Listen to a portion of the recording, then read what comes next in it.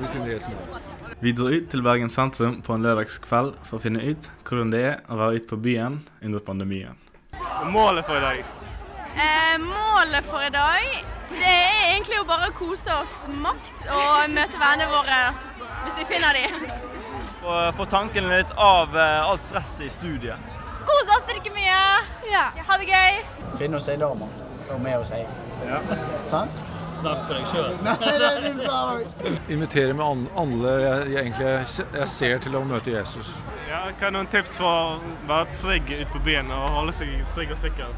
Tips til å være trygg på byen er å være med de du stoler på. Være med nære venner. Holde seg til de. Ikke drikke for mye. Holde seg med vennene sine så de passer på deg. Det er jo lurt å, å ta det litt med ro. eh, Og eh, det blir ikke gøyere jo mer du drikker.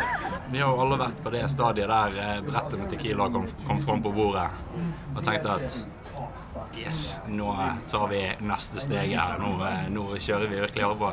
Kanskje ta et glass vann istedenfor uh, en gang iblant. Og så eh, har en det kanskje ikke bare bedre dagen derpå, men eh, det hjelper jo det med å kanskje komme seg trygt hjem.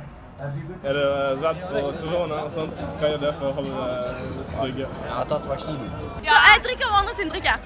Ikke gjør det. Nei, ikke gjør det. Ikke inviter for mange på fest. Nei, jeg må stole på, på Herren Jesus. Og jeg er jo heldigvis velsignet med god helse. Jeg er jo aldri syk. Så jeg håper at ikke jeg bidrar til eh, sykdom eller plage hos andre. Og selvfølgelig håper jeg at jeg ikke blir, blir smittet av syk selv.